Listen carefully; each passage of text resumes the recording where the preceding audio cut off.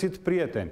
Astăzi am invitat la cină o doamnă care a făcut din pasiunea copilăriei o profesiune de credință. A studiat ani la rând documente și vestigii istorice pentru a recompune viața așezărilor medievale din această parte a țării. Să o cunoaștem.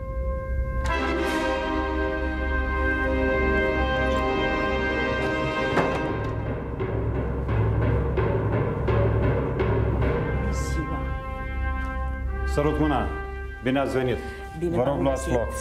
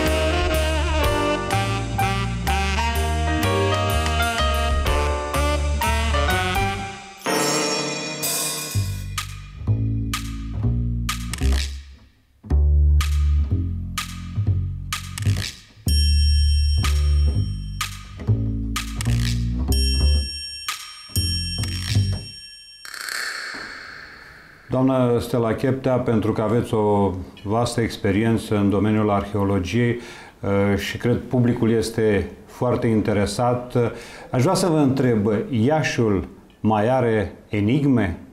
Oh, da, desigur. Chiar acum uh, lucrez la um, decriptarea unei asemenea enigme care este um, în Palatul Culturii, de fapt, Uh, Curtea Domnească a Domnilor Moldovei. Este o construcție inițial a fost mică, s-a extins de-a lungul secolelor și în, uh, la începutul secolului al XIX-lea a fost uh, transformată dintr-o curte domnească în palat domnesc în palat administrativ, apoi pentru că uh, s-a schimbat societatea din uh, societate medievală, s-a transformat într-o societate modernă, adică palatul a devenit nu, uh, din gospodărie domnească în palat administrativ, adică locul unde se concentra întreaga administrație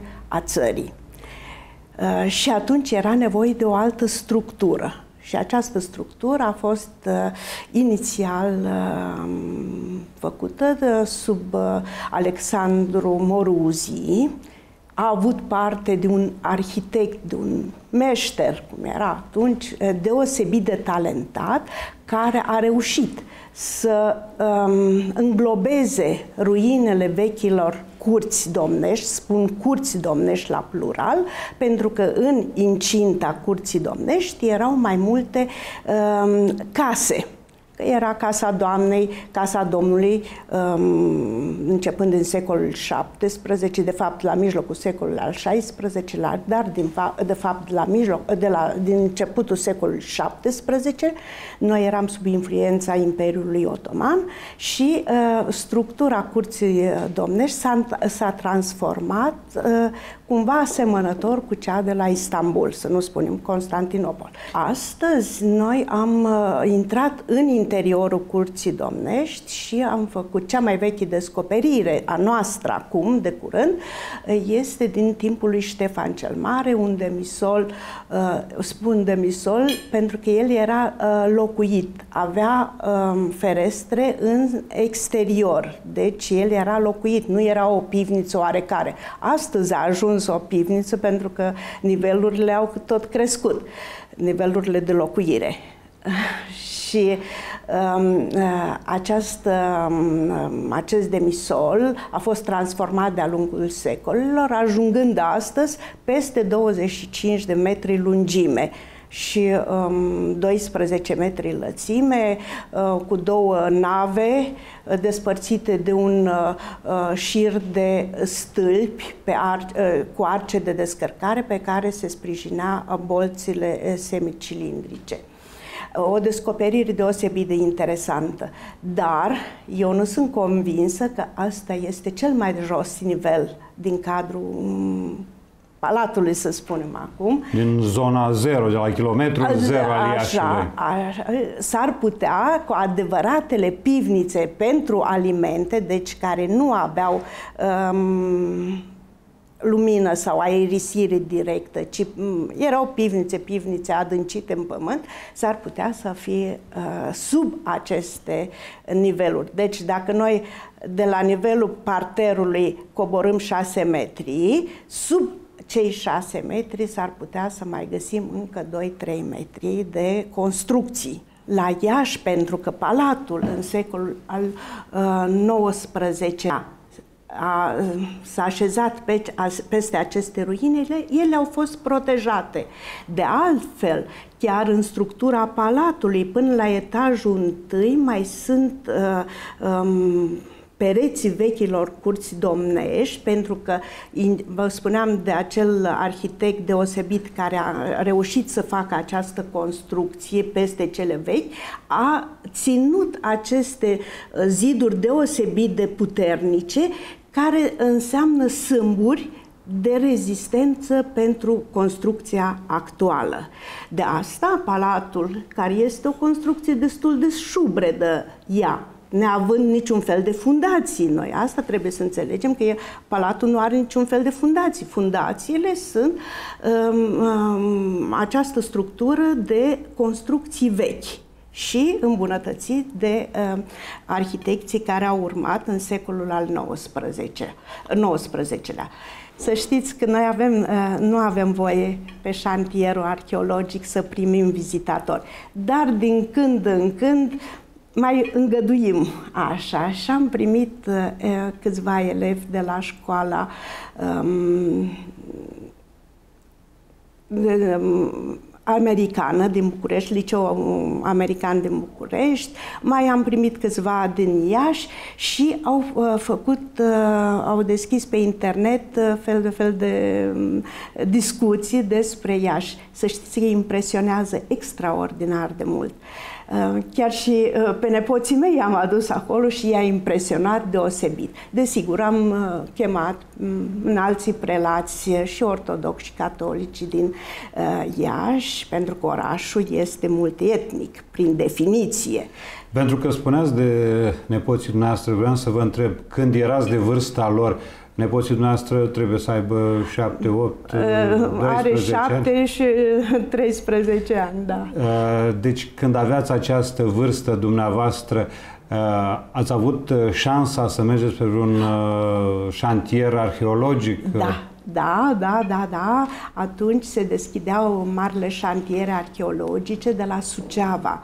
Eu sunt suceveancă și uh, atunci începeau marile șantiere de la uh, Cetatea de Nord, de la um, Zamca, de la mănăstirea Zamca, o mănăstire uh, armenească, pe urmă, când am crescut puțin mai mult și puteam să merg singură, uh, la cetatea de scaun a Sucevei. Pe urmă, ca studentă. Locuiați în apropierea mănăstirii Zamca? Da, da, da, da, da. Chiar uh, între cele două cimitire armenești, eu am crescut într-un cartier armenesc.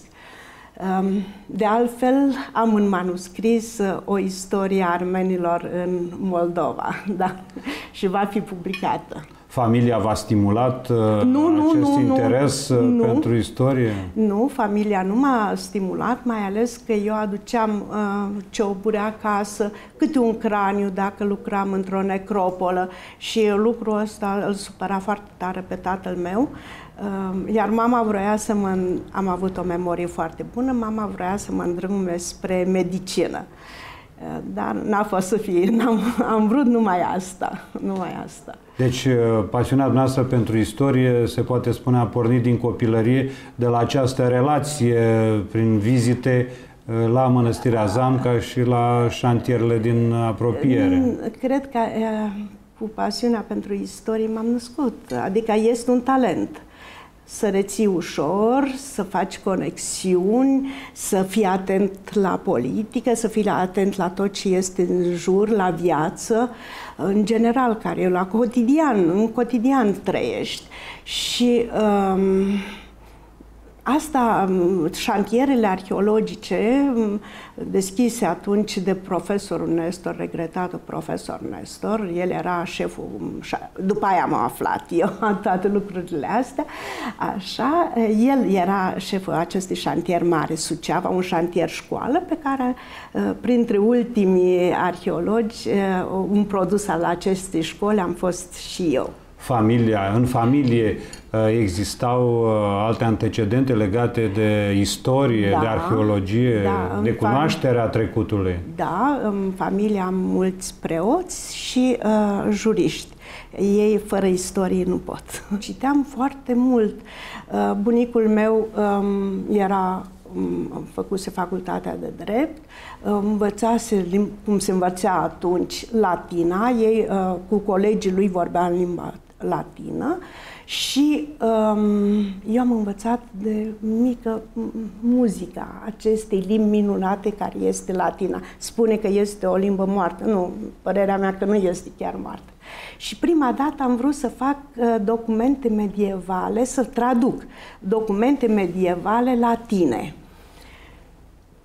Uh, n-a fost să fie pentru că profesorul cu care am început eu să lucrez în anul 2 de facultate a murit. S-a, s-a dusese la Cluj și uh, um, un asistent a găsit în mine un om care chiar i-ar fi plăcut latina. Dar mi-a folosit în continuare latina, mai ales pentru uh, călătorii străini. Uh, trebuie să mergi din nou la text, vezi cum, cum s-a tradus, pentru că latina medievală nu are reguli latine clasice. Arheologia um, produce documente irefutabile pentru istorie. Așa că eu produc în orice clipă, în timp ce lucrez, produc documente pentru istorie. Asta m-a ajutat foarte mult și chiar pentru istoria Iașilor, să înțeleg a, geneza și dezvoltarea orașului.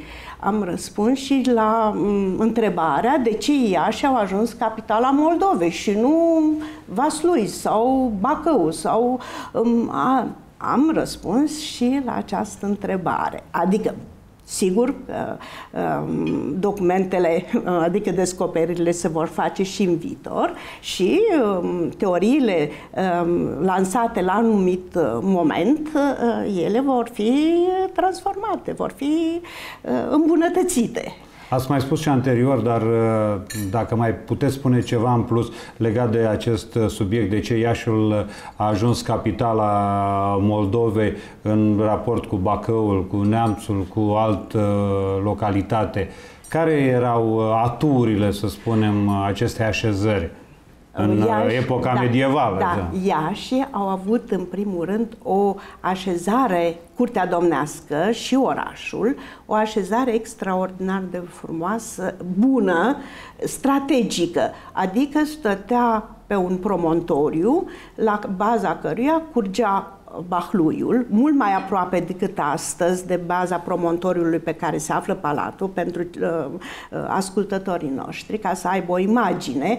Uh, Bahluiul a fost regularizat în secol, la sfârșitul, la începutul secolului 20, uh, cum trebuie.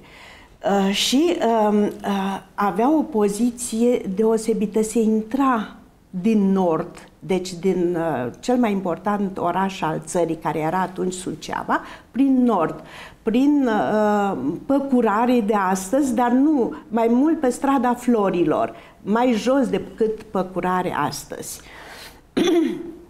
și uh, uh, as, uh, era o regulă unde erau amplasate curțile domnești în economia urbană. Nu erau puse la întâmplare. Curțile domnești totdeauna erau excentric față de așezare, pentru că până ajungeau la curte și uh, Iași ne-au rămas documente mai multe și la Iași, uh, de nenumărate ori s-a verificat acest lucru. Adică când veneau, să zicem, turcii sau uh, austrieci în cazul, mă gândesc la un eveniment la 1711. Așa, veneau spre curte, domnul avea timp ca să uh, plece prin vad în uh, codrii Iașilor sau la mănăstiri uh, fortificate, care erau Galata sau Cetățuia sau Hadâmbu sau, mă rog, um, noi avem o salbă de mănăstiri fortificate în jurul Iașilor, tocmai din acest motiv. Cum ați ajuns să, să vă hotărâți să studiați uh, arheologia medievală și în o altă perioadă? Um, profesorul, uh, unul din profesorii importanți ai noștri, ai noștri am spus, um, academicianul, regretat academician Mircea Petrescu Dâmbovița, ar fi vrut ca eu să fac uh, neolitic. Nu, nu mi-a plăcut. Ehm, a încercat să mă îndrepte spre paleolitic, nici atât nu mi-a, nu mi-a, nu. M-a văzut pe șantier ehm, profesorul Nicolaescu Plopușor, Plopșor, Așa, și i-a plăcut cum lucrez ca arheolog, pentru că un arheolog trebuie să lucreze el cu mâinile lui, să vadă pământul, să-l simtă. Așa, și i-a plăcut foarte mult și a fi vrut ca să se ocupe de mine ca să fac paleolitic. A, dar nu mi-a plăcut deloc, absolut deloc. Mie îmi plăcea uh, evul mediu. Mi-a plăcut totdeauna evul mediu, cu toate că la început, la început, când era... Era mai dinamic uh, perioada? Nu știu, uh, nu știu. Acolo, uh, spre asta m-a, a, am fost atrasă. Mi-a plăcut istoria artelor uh, medievale Bineînțeles că... Și prin asta v-ați uh, concentrat uh, preocupările spre istoria orașelor, uh, da, la Baia ați, fost, ați făcut cercetări la Hârlău, da, aici zona la... Cotnar, Iașiul, nu mai spun.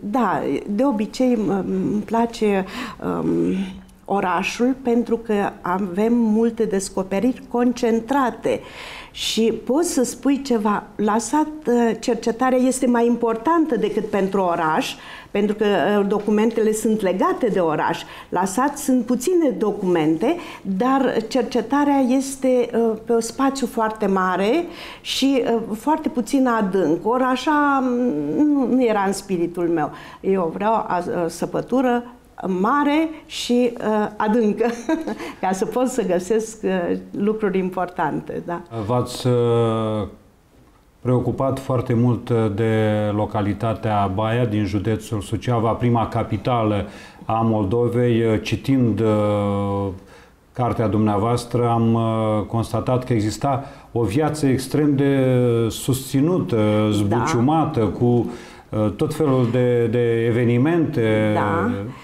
Istoria începuturilor orașelor în Moldova este legat de spațiul central european. Europa la mijlocul secolului al XIV-lea, a fost bântuită de ciumă și de foamete. Și ei s-au îndreptat spre răsărit. Părțile noastre au fost scutite de acest uh, flagel, um, pentru că erau ora, uh, localități mici, în păduri, cu apă foarte bună și în felul acesta trăiau într-o situație, într-un cadru igienic. Orașele uh, medievale erau locuri murdare, unde uh, șobolane și ciuma și își făceau loc imediat. Epidemiile în evul mediu erau catastrofale pentru populație. În părțile astea, neexistând orașe cu ziduri, um, cumva um, aerul intra mai mult, adică uh, se putea uh, păstra oarecare uh, curățenie. Sigur că au primit din partea domnilor um, anumite privilegii unde să se așeze ei erau numiți oaspeți, unde să se așeze, domnul le dădea în economia urbană, în localitatea care îi aparținea domniei, le dădea un loc unde să-și facă, să-și așeze cu un prăvălii, cu ateliere, cu locuințe în primul rând.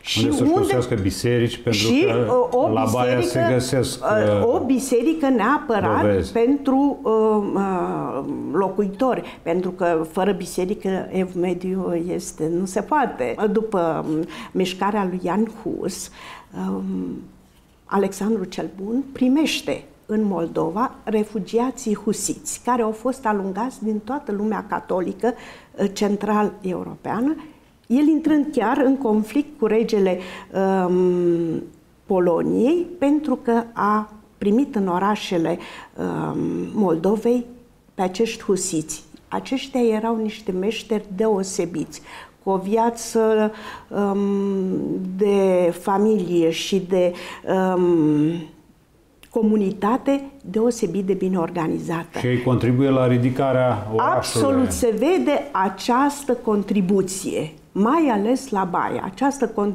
Dintr-o dată orașul înflorește. Chiar dacă ei acceptă și locuiesc în continuare în casele adâncite în sol. Când se consideră că Baia a fost capitala Moldovei?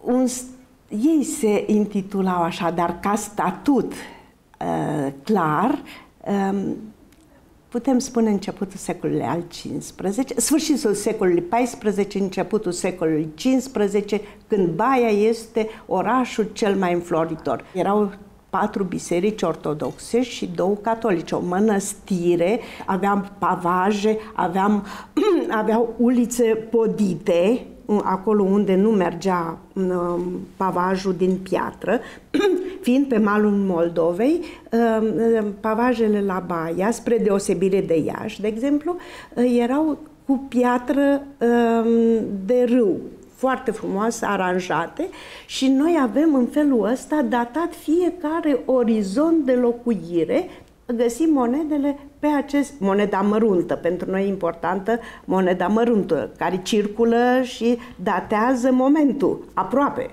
mă rog, plus sau minus 10 ani, dar aproape momentul. Și atunci noi putem uh, să datăm toate materialele pe această bază, pentru că noi avem orizonturi clare de pavaje și locuințe cu monedă.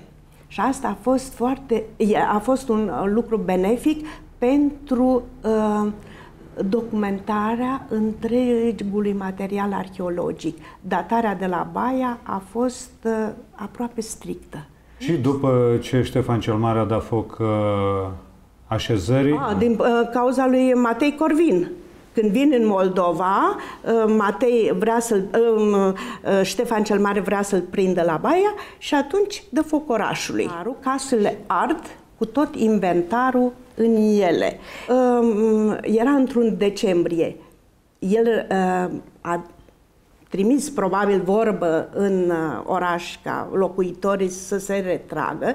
Dovadă e că noi am um, desfăcut peste 100 de locuințe și nu am găsit nici măcar un os de um, uh, om adică vreun, vreo persoană prinsă în acel imens incendiu. Ați uh, avut o activitate intensă și în zona unui alt oraș care astăzi uh, nu spune foarte mult uh, românilor, e vorba de Hârlău uh, din județul Iași, dar care în epoca medievală a cunoscut o înflorire extraordinară și a însemnat ceva pentru da, Moldova. Da, pentru că um, specificul Hârlăului este, uh, el este oraș viticol. Pot să vă spun și Parisul s-a dezvoltat ca un oraș viticol. Sub actuala biserică uh, care este uh, ridicată de Ștefan cel Mare, de la Hârlău, am găsit alte două biserici. Una care a aparținut, sigur, lui Alexandru um,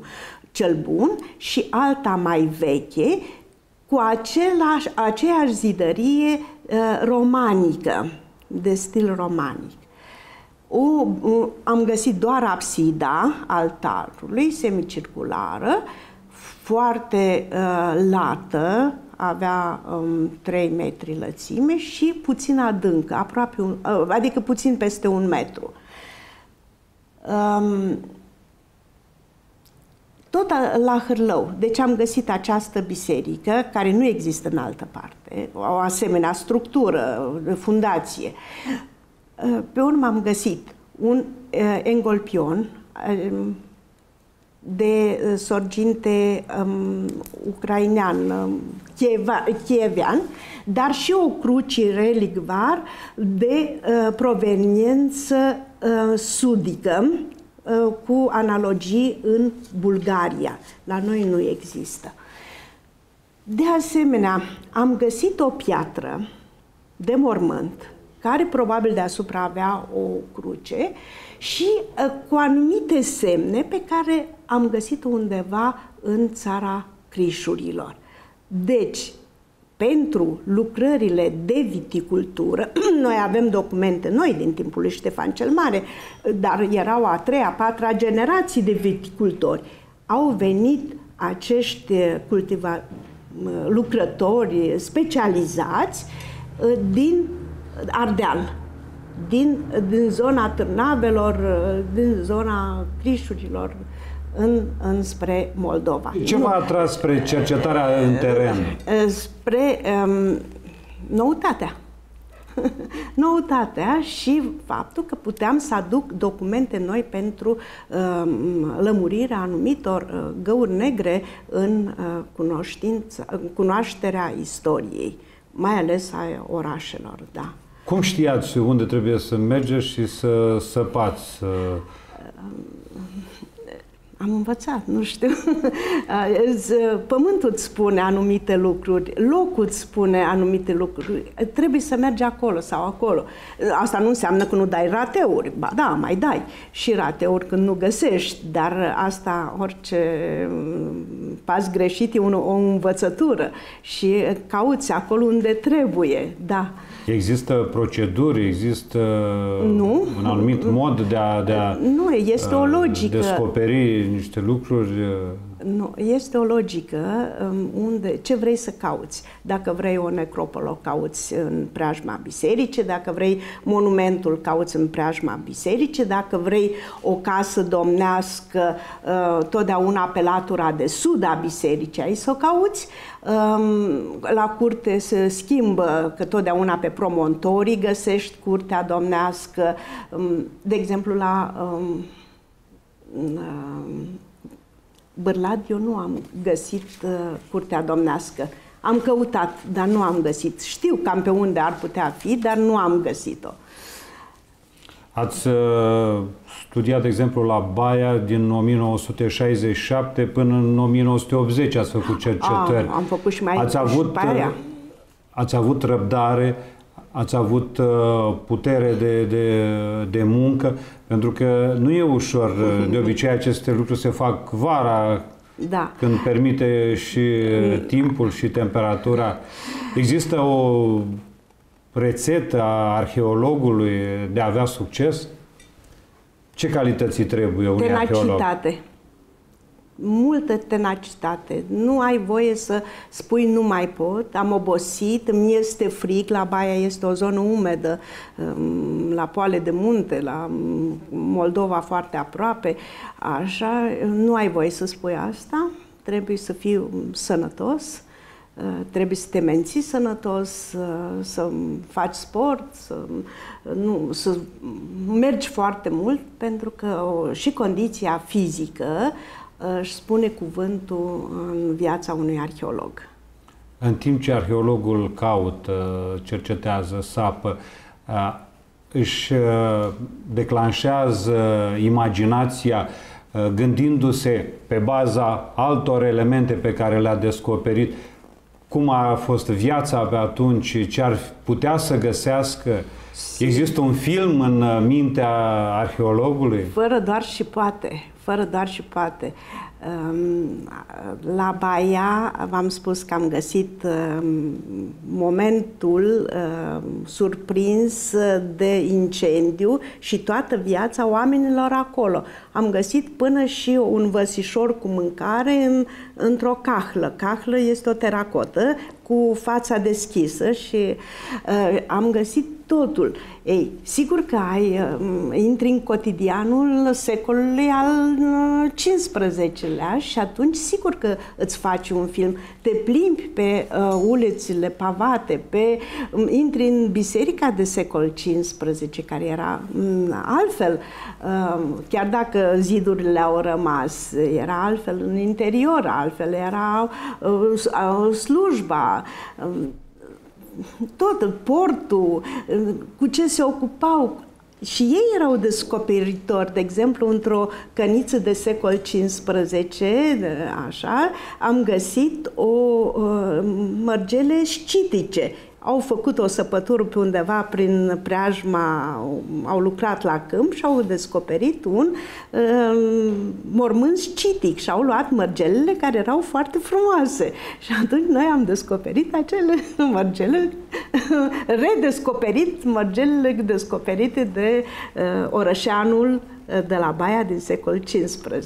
Dar există o limită a imaginației uh, ei, sigur, nu poate, uh, noi suntem oameni de știință, noi trebuie să spunem lucrurile exact, dar um, când uh, scriu, uh, încerc să ies din cotidian actual și să intru în partea cealaltă. Pentru că altfel, dacă nu vezi cu ochii minții și nu înțelegi documentele scrise și să le coroborezi cu cele materiale, nu ai făcut nimica. Succesul uh, unui uh, arheolog uh, vine din micile succese săptămânale sau lunare din timpul activității sale? Zilnice.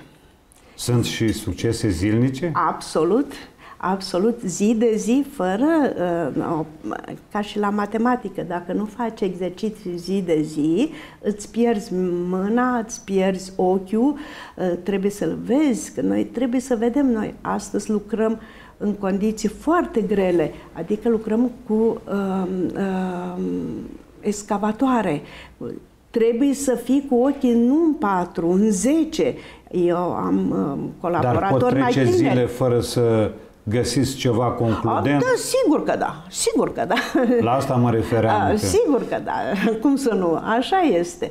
Dar orice zi pregătește un succes pentru timpul următor. N-ați fost tentat niciodată să renunțați nu. la căutările dumneavoastră, la prezența pe șantiere? Nu, nu, nu, nu se poate atunci trebuie să renunți la activitate cu totul. Dar nu, nu se poate, asta nu. Ce v-a menținut în uh, formă? Dorința de a ști. Este, um, profesorul meu spunea că sufer de o curiozitate extraordinară. Da, dar eu cred că este dorința de a ști mai mult, de a ști, de a uh, lăs niște lucruri pe care eu nu le înțeleg pe moment. Și uh, peste ani revin și găsesc explicația. Care credeți că este lucrul cel mai important pe care l-ați uh, descoperit pe, sau pe care l-ați oferit uh, foarte mult domeniului și publicului larg? Tot este important. Fiecare lucru are importanța lui pentru un anumit uh, segment. Că am descoperit uh, la Baie, pentru că vorbeam de Baia, am cam descoperit că nu Biserica um, Albă este Biserica lui Ștefan cel Mare, ci Biserica de la Petru Rareș. Sub Biserica lui Petru Rareș, Titoria din centrul Băii, există o altă biserică mai veche care este aparține lui Ștefan cel Mare. După ce arde orașul, normal, domnul uh, trebuia să facă pentru oraș pe care l-a sacrificat sacrificat, un oraș bogat, un, un oraș important, el îl sacrifică, repară, ă, adică face această biserică din care eu am găsit doar fundațiile care deranjau o altă uh, biserică anterioară cu fundații de piatră și uh, elevația de uh, pereții din lemn. Uh, și repară și Biserica Catolică pe care el o stricase. Truda dumneavoastră a fost uh, răsplătită într-un fel de Academia Română prin două premii obținute în 1984 și 1994. Uh, primul premiu pentru lucrarea referitoare la uh, orașul Baia, cel de-al doilea pentru o carte intitulată Inscripții ebraice. Da, despre inscripțiile ebraice este o carte făcută, sigur, cu um, cel mai important. A fost um, profesorul Itzic Cara, care era um, un uh, intelectual deosebit și care ajunsese la o vârstă um, am, noi am făcut cartea asta când el avea 94 de ani. Um, el culesese um, inscripțiile astea de la cimitirul, nu, și înaintașii lui, mai au, au fost um, persoane interesate de istoria comunității și au um, cules aceste inscripții de la cimitirul din Ciurchi, unde este cartierul Ciurchi acum, dar este locul Viran, acolo a fost cimitirul. Uh, cimitirul a fost mutat în uh, cu acceptul comunității în Păcurar în uh, 1940. Um, ace- sigur că au fost culese doar inscripțiile uh, personalităților și celor mai importante, dar și o inscripție mai veche uh, de la sfârșitul secolului al XVI-lea. Ce deci, conțineau aceste inscripții? Numele, um, anul morții, mă rog, dar um, pe, în calendarul mozaic. Așa și um, importanța, dar importanța personajului care odihnește acolo. Dar um, asta nu este o realitate. Um, conținutul inscripției este valoros prin an și uh, dacă spune o meserie. Dar în același timp spune că era rabin, că era, uh, făcea parte din um, um, tribunalul rabinic și adică sunt multe, multe legate de istoria comunității. Primul premiu chiar mi l-am dorit. Era pentru Baia și mi l-am dorit pentru profesoara mea foarte mult. Um, Premiul al doilea nu l-am mai apucat, ea între timp a decedat și atunci um, a fost așa un, un regret pentru mine, pentru că am învățat foarte mult la Eugenia Neamțu, foarte mult și um, mi-a dat acea încredere în mine și asta Premiul al doilea era meritat, era, m-am bucurat pentru domnul Cara. Vă numărați printre membrii fondatori ai Centrului de Istorie și Civilizație Europeană. Era necesar în cadrul Academiei uh, aici la Iași un astfel de centru? Și prin ce? Um, era necesar în sensul că um, atunci credeam că vom avea toată libertatea și toate posibilitățile să ne dezvoltăm fără o prelește. Um, foarte important, eu puteam oricum să o fac, pentru că eu sunt un om tenace și când vreau, pot. dar pentru istorie contemporană era mai greoi. Adică um, principalul uh, fondator al acestui centru a fost Gheorghe Buzatu. Și um, el avea cu tot o altă viziune despre istoria contemporană. El era un mare, mare um, om care respectă documentul. Pentru el, lucru sfânt era documentul. Ori documentele pe care le avea el, el a fost un mare culegător de documente din uh, arhivele și din toată lumea, din America sau din uh, Rusia, peste tot, din Germania, din Franța, de peste tot. Uh, el avea o cultură extraordinară, istorică, extraordinară și știa exact despre ce este vorba. Uh, iar uh, ca să se întoarcă la a nu spune că este naționalist, că e luptă pentru uh, istoria neamului lui, asta nu mai putea să înduri. Ce își propunea acest centru? De ce era necesar? Facă, să facă istorie contemporană așa cum vroia, pe documente bune, fără niciun fel de oprelește, pentru că am fost confruntată chiar eu am scos o revistă în an, uh, Europa 21 când uh, uh, mi s-a spus că trebuie un, un consiliu, un um, um, consiliu de redacție în care nu trebuie să lipsească un academician. Și am întrebat de ce. Noi avem materiale, avem bani, tipărim ce vrem. Așa am înțeles eu libertatea. De a scrie libertatea pentru un istoric. Același lucru au înțeles și ceilalți colegi ai mei, inclusiv Buzatul, bineînțeles. Așa, și din cauza asta, pentru că nu vroiam să avem opreliști. Să nu avem... Să de la cine și de ce? Pentru că nu trebuiai să spui toate lucrurile pe nume. De asta că nu trebuie să te ocupi de Antonescu, că nu trebuie să te ocupi de um, război, că nu trebuie să te ocupi de situație economică, că nu, nu... De ce trebuie să nu te ocupi? Istoricul nu trebuie să aibă uh, opreliști pentru a scrie ceva ce este și poate dovedi prin documente. Ce înseamnă viziunea noastră să fie astăzi patriot?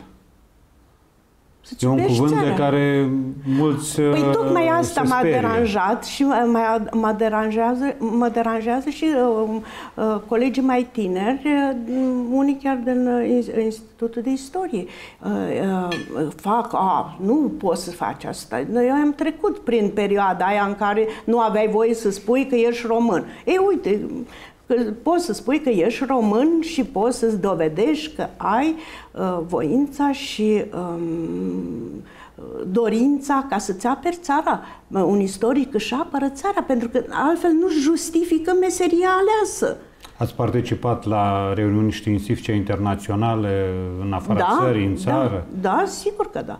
Și cum erați privită sau cum v-ați simțit dumneavoastră ca român între specialiști din alte țări? Foarte bine, foarte bine cel mai bine m-am simțit în Germania, unde uh, ei au alt, ca arheologi, au altă tehnică.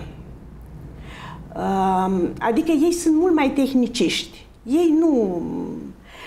Eu m-am dus pregătită, uh, m-am dus cu cărțile, cu băile, așa, unde e foarte mult material de influență central-europeană, cu monede din și Boemia, care nu știu, din așa, perspectivă. au rămas uimiți de ce avem noi atâta material, le-am explicat în orașele închise, așa, în Germania, în Ceoslovacia, cum era atunci, în Cehia, în Boemia. Foarte mult mi-a plăcut Boemia, foarte mult. Seamănă cu Bucovina. așa, și um, uh, toți mă întrebau, cum aveți voi? Pentru că în momentul în care arde localitatea, casa se prăbușește în interior și găsești tot inventarul. Noi, într-o, după o campanie de săpături, aveam un camion de materiale. Vă dați seama? Fetele care lucrau la laborator erau adevărate, cum să vă spun, eroine că reușeau să facă materialele respective. Și eu am învățat repede, știind literatura lor, cum să fac analogii între uh, materialele noastre și ale lor. Și eu spuneam, a, ați descoperit asta, este din timpul lui Cutare, este din timpul lui Cutare. Așa, au rămas uimiți, au făcut la un moment dat coadă la, uh, la Berlin să le datez niște materiale. Ați avut colaborări? Uh, da, și după aia și, și înainte, sigur, sigur că da, sigur că da. Mereu cereau cărți de asta. Am avut un traducător foarte bun pentru rezumatele de la um, băi, um, de la cărți și uh, pentru limba germană le era foarte ușor și mereu de asta nu mai am cărți. Centrul de Istorie și Civilizație Europeană are o activitate prodigioasă, aveți numeroase evenimente editoriale. Da. Multe sunt uh, dedicate celui de-al doilea război mondial. Uh, recent a apărut și jurnalul lui uh, Ioan Antonescu, Există o preocupare constantă uh, pentru Acum... publicarea unor documente care să limpezească acea perioadă nebuloasă? Da, sigur că absolut avem uh, preocupări ca să continuăm munca lui uh, Gheorghe Buzatu. Trebuie să faci, să cunoști foarte bine um, perioada comunistă, începuturile ei, de unde, de ce au ajuns ăștia niște îndoctrinați așa, în ce, care este motivul ca să uh, uh, oprime, uh, de fapt, anii 50, 45, 60, să zicem, a fost o situație de, în România, populația românească a fost oprimată. I s-a tăiat, uh, decapitat intelectualitatea. Ori dacă iei capul unei națiuni ce ai făcut? Faci din ea un robot. Ori noi uh, am pierdut în anii respectivi, am pierdut uh, circa 300 de mii de oameni. Vă dați seama ce înseamnă asta prin uh, închisorile comuniste, pe la, prin Delta și prin toate lagărele astea de muncă. Este ceva extraordinar și noi trebuie să vorbim despre perioada asta. Primii care am cântat Gaudeamus în oraș au, au prin anii 50, uh, 60, uh, uh, nu, 60, cred, 59, 58. Am deschis geamurile la, la Liceul Ștefan cel Mare și am cântat tare, Gaudeamus. În 60 am cântat Deșteaptă-te române. În, în parc, vis-a-vis era județeana de partid și noi eram în jurul statuii lui Ciprian Porumbescu. Atunci N-au ce... existat repercursiuni? Nu. După astfel de uh, Poate că da, gesturi. da, dar nu le-am, nu le-am simțit noi. Copii fiind nu am simțit. Pentru că eram atât de hotărâți să, să mergem mai departe și să luptăm pentru dreptul românismului încât nu mai, nu mai conta. Ați avut și aveți la dispoziție, pentru că le-ați publicat, uh, numeroase documente referitoare la Mareșalul Ion Antonescu. Da. Ce ar trebui uh, sau cum ar trebui să-l evalueze astăzi românii pe Ioan Antonescu? Așa cum a fost. Cu um, calitățile și cu scăderile lui. El a fost un om, nu a fost un dictator. El era într-o epocă a dictaturii pentru că erau mari, doi mari dictatori, care era Stalin și Hitler. El se situa cu țara lui la mijloc. Nu putea, n-avea nicio scăpare, nici în dreapta și nici în stânga. Dovadă avem și astăzi, că dacă nu ne apărăm singuri, nimenea, câte uh, con, uh, tratate avem, rămân totuși petice de hârtie când interesul dictează altfel. Cum ați defini naționalismul? Să te respecti pe tine și să respecti pe celălalt. Această calitate care se acordă unora în sens peorativ este un motiv de frică, de teamă pentru acele persoane? Cred că da. Adică incapacitatea de a susține dreptatea ta dar să respecti și dreptatea celui din fața ta și să accepti dialogul și să mergi mai departe. Noi trebuie să fim așa cum suntem. Avem o bucată de pământ răvnită din totdeauna din toate părțile. O, o bucată de pământ care este extraordinară și uh, se știe că acea, uh, totdeauna uh, un loc binecuvântat de Dumnezeu este supus în partea cealaltă unor calamități create de om. Mereu, mereu. Mereu am fost sub papucul unuia sau altuia. Am avut și conducători buni, care au putut, au, au avut inteligența și alții care s-au aplecat de-a dreptul. Știți? Și atunci asta e. Care e gândul pe care îl aveți pentru uh, tinerii cercetători, pentru cei care vin pentru că, iată, istoria, viața merge înainte? Da, am, am